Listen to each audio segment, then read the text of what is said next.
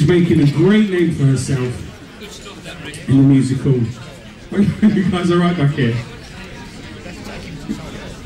In the musical arena. And we're going to be very, uh, we're going to be very pleased to have her here with us this evening. Gorgeous young lady and an immense musical talent. Please welcome onto the stage the lovely Claire Gobin.